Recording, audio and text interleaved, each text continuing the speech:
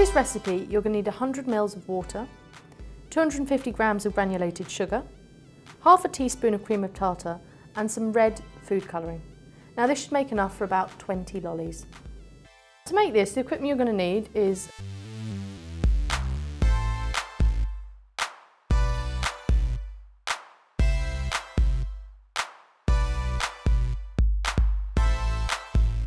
So the first stage of this recipe is to put our sugar, cream of tartar and water into a saucepan.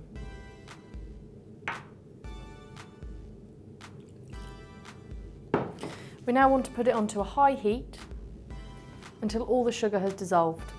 Now the cream of tartar is an interfering agent that will stop sugar crystals forming and hopefully leave us with a nice, clear, glossy lollipop at the end.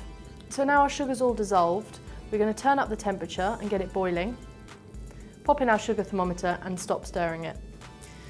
So we've now been boiling our sugar mixture for about five minutes and it's reached hard ball on our sugar thermometer. That's about 128 degrees. I'm going to take a teaspoon of it out and show you how it reacts to cold water. So when we put this into cold water, it's starting to form something that's quite firm but it still doesn't crack in the way that we know that lollipops should. It's still quite soft and pliable, but definitely doesn't just disappear into the water. Okay, so it's now reached uh, the temperature that we're looking for, and I'm going to demonstrate that by taking a spoonful and just dropping it into this cold water. Okay, so we're just going to pop that straight into cold water, and what we're looking for is for it to set hard and basically crack. And it's setting in the water, and when we take it out, it should crack. So I'm going to take some of this out. It's set nice and firm, you can see there. And if you try and break it, you'll find that it just breaks down into lots of little pieces. So we're just going to put in a tiny bit of the food colouring at first because otherwise it might go red straight away. Right, so we're going to allow that to cool just a little bit so that when we uh, pour it onto our sheet of greaseproof paper it doesn't spread too far. And in the meantime, we're going to grease up the sheet of greaseproof.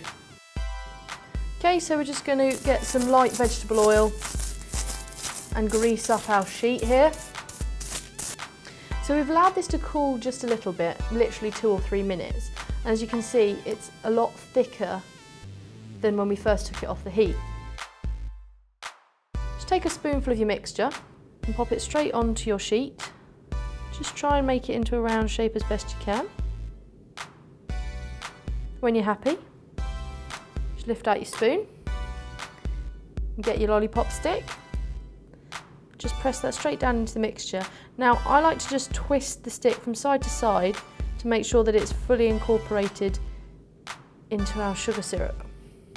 As you can see, as our mixture has started to cool, it actually forms a more perfect round shape as it gets stickier, thicker and cooler.